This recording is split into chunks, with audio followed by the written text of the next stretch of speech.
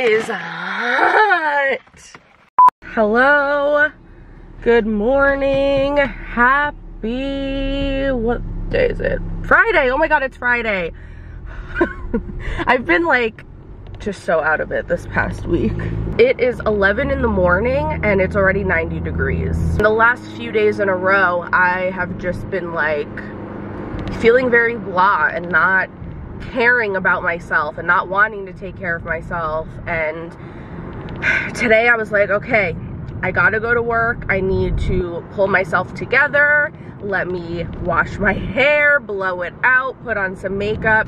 Cause I always find that like when I'm in that kind of mood where I just feel very blah and I don't want to do anything and I don't have like the energy to get out of bed, forcing myself to get up, take a shower, and pull myself together and like look nice and more presentable, it usually makes me feel better and then I end up having better, more productive days because like I'm just, I feel good about myself. So I am currently on my way to the salon. I have one client at 12 o'clock and she's a new client, which I get new clients pretty often because majority of the services that I do are like big color transformations and they're typically like low maintenance colors. So I don't see my clients more than just like a few times a year.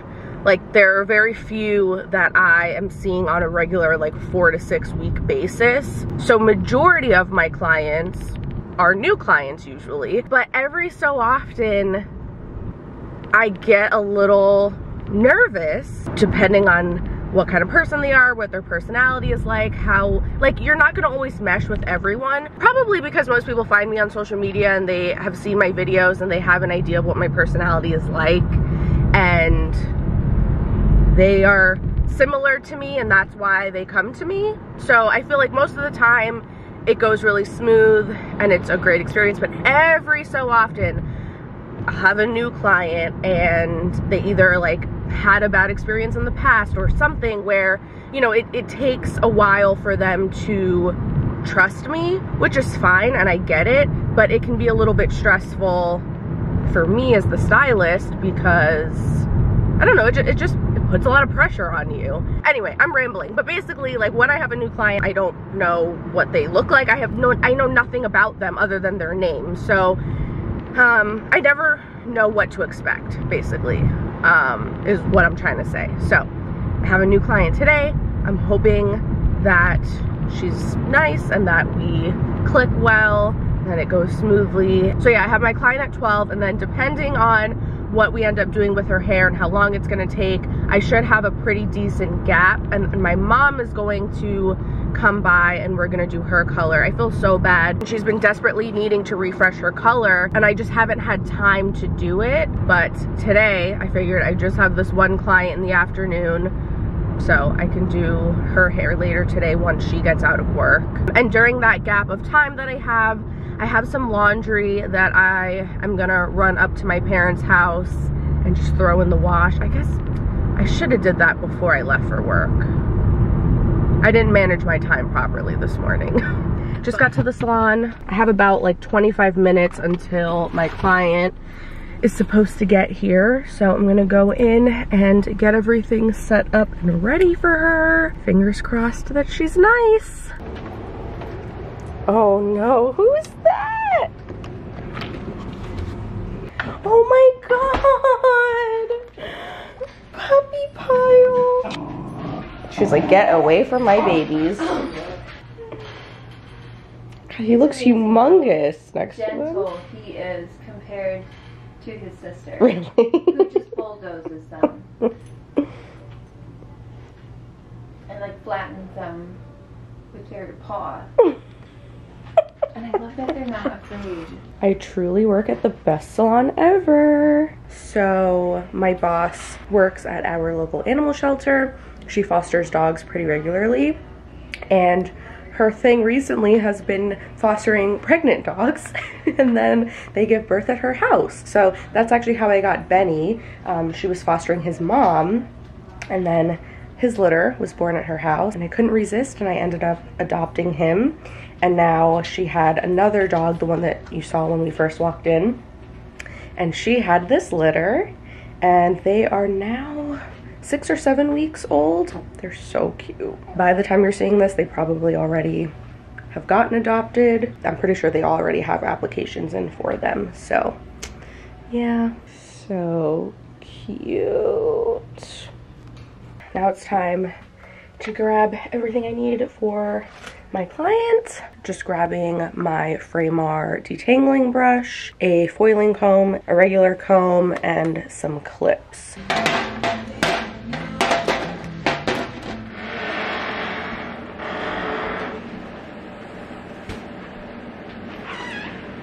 So my client actually ended up being super nice, so I'm glad that it went well.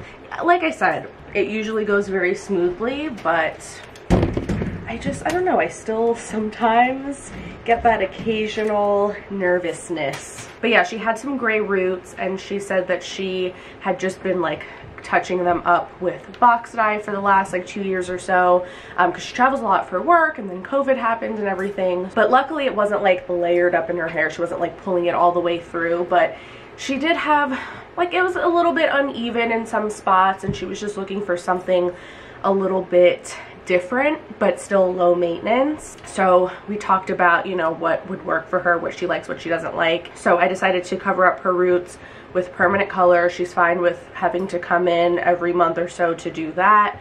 Um, but we went with a little bit of like a warmer, more medium brown. And then I just painted a few pieces just to kind of break up the darkness on the ends and to just give her like a nice sun-kissed look. She was really happy with it. It came out really beautiful and it's just crazy like what a big difference something so small can make because I really only did maybe like six panels on her. Like it was a very quick appointment.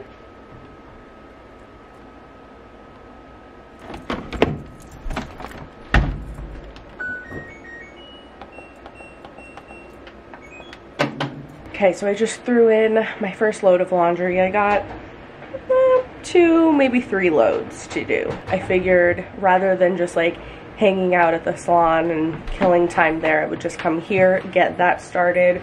So put the first load to wash now. Now I'm gonna head back to the salon, do my mom's hair.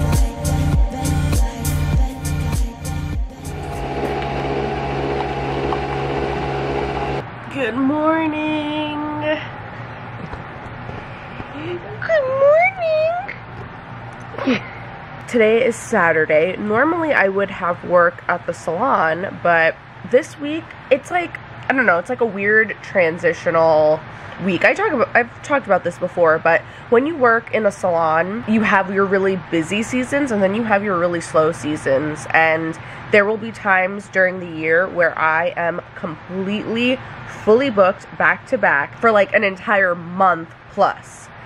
And then there will be other times where I'll only have a handful of people for the entire week. So today I didn't have anybody on my schedule. We're by appointment only, so if I don't have anybody on my schedule, there's no point in me going in. So today I wanted to take advantage of this day and also take advantage of the fact that I have clean hair, film a video or two for YouTube, do an Instagram reel.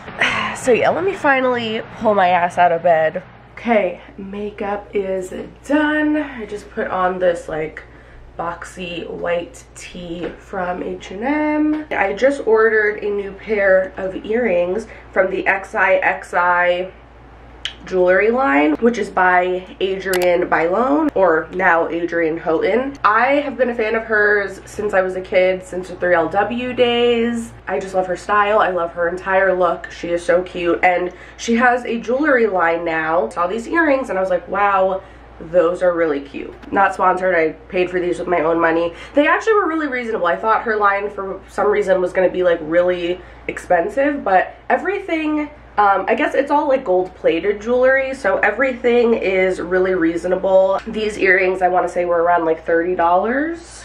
So cute.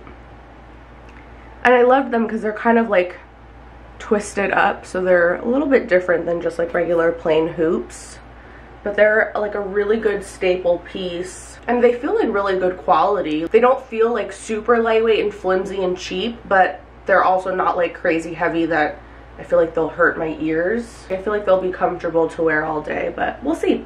I'll keep you guys updated. Oh, and look how like the box that the earrings came in is so nice too. I'll put a link to these earrings in the description if you want to get them. Like I said, not sponsored at all. Hello, hello, good afternoon. It's many days later. It is Thursday today. Update on the earrings before I forget. They are actually super comfortable.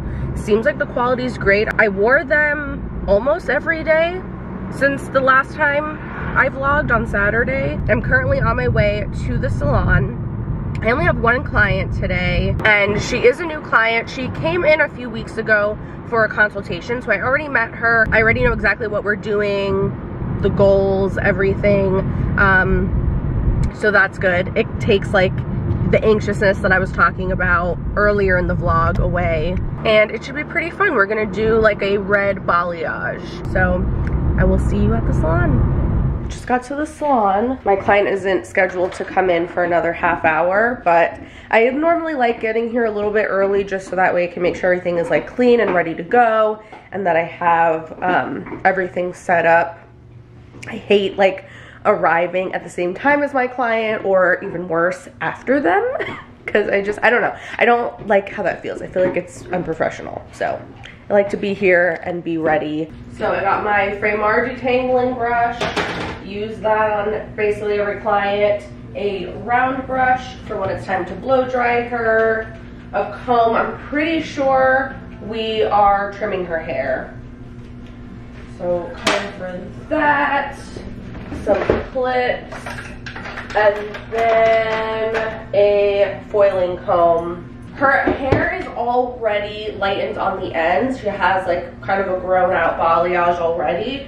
So we're just gonna do a partial foil to bring the light pieces up a little bit higher and make it, you know, like refreshed and really blended. And then we're just gonna throw a red toner on top of that um, because she wants to be red, but she also wants something that's gonna grow out nicely and not have like a harsh line of demarcation. Why is it that when I have nowhere to go and I'm just like hopping in the shower at night, I can throw my hair in like the cutest, most effortless, messy bun, no problem. And then when I am trying to go somewhere,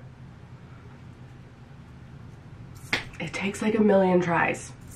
It's Saturday morning, I am getting ready to go work at the salon. I just have one client today, thank God. And then after work, I'm gonna hang out with one of my friends and we're gonna go to a winery. So I'm very excited, looking forward to that. And to be honest, I kind of need to hurry up because I need to leave in the next like 10 minutes. But in this vlog, I wanted to talk about burnout because no fail, every time I do a Q&A, I get questions about this topic. Like, how do I deal with burnout? Do I ever experience it? What do I do? Etc. And I figured since I have been experiencing it recently, why don't I just vlog and share how I feel about it and what I do in the moment? Because I feel like that's more helpful and more relatable than me just like sitting down and giving you like a 30 second answer an explanation, you know? I'll meet you in the car. Guys, let's talk about burnout. It it happens to me at least a few times a year, I wanna say. Um, and I feel like there's different kinds of burnout. Like you can feel burnt out because maybe you just aren't establishing strong enough boundaries with your clients or even people in your personal life and maybe people are taking advantage of that and you feel like you're constantly getting stepped all over and it's just like completely ripping at your soul and exhausting you. You could feel burnt out because maybe you're doing a lot of services that you just really don't like or you're having to deal with clients that aren't the right fit for you. Honestly, for me, uh, especially as someone that's like naturally more introverted, the most exhausting part of this job is not even like the actual physical aspect of like being on my feet. It's like the mental and emotional exhaustion of just dealing with so many different kinds of people. And there's some clients that you have that you just get along with so well and you feel like you're hanging out with a friend and it takes zero effort at all. And then there's other clients that like yesterday I had a, one of those clients that I, I love her. She's great. She's really, really sweet. But I, I feel like I have to put in more effort and be more like on, you know? Because she's older than me. She's a mother. Like we're not, we don't have like a lot of similar interests or anything. So I feel like making conversation takes more effort and energy.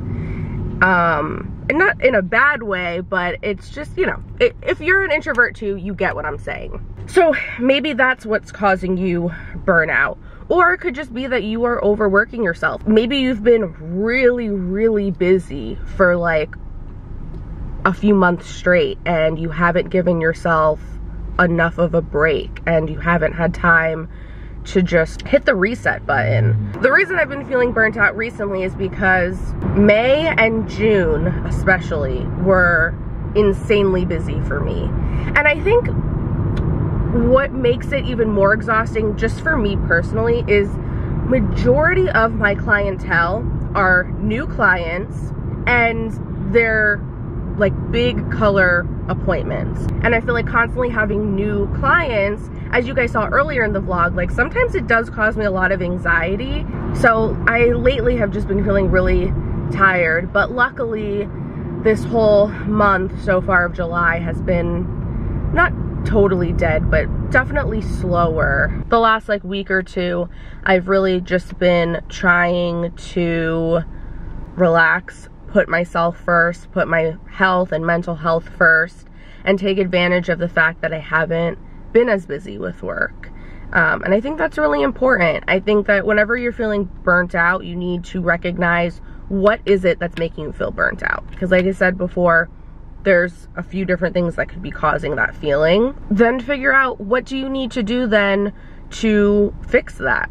Because you can't run on fumes. And it's not fair to you. It's not good for your body. And it's also not fair to your clients because I know that once I'm getting to a point where I'm feeling kind of burnt out, I feel like I'm not giving 100% of myself to my clients and I'm not doing my best work. So that's why it's important. We need that time to like reset and just rest. That's uh, how I experience burnout and what I do when I'm feeling that way. So I just have one client today, like I said. Um, I haven't seen her in a while. I want to say the last time I saw her was in the fall, maybe, early winter, something like that. But I'm gonna run in now. She isn't here yet, so that's good. I'm gonna run in and get everything set up. I just realized that I got a before clip of my client's hair and I didn't get any clips during or after, but I'll insert some pictures. We ended up just doing a full foil. She just wanted to bring everything up higher, but it last time I did her hair, it turns out was November, so it's been quite a while, so she did need a full head. But now I am supposed to meet up with my friend to go get drinks in like two hours, hour and a half, two hours. Sorry, the alarm is going off.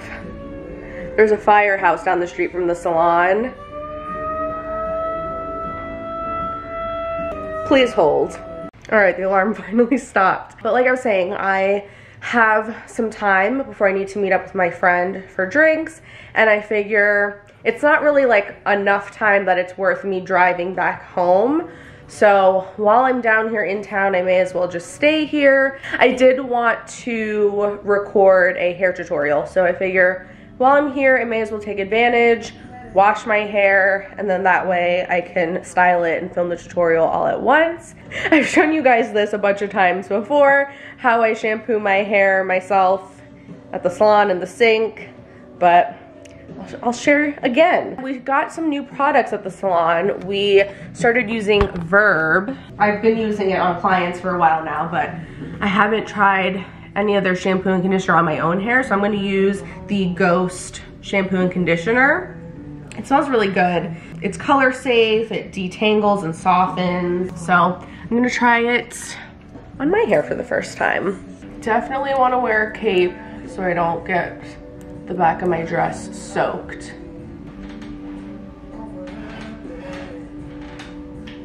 And I like to pull the products over next to me so that I can reach them.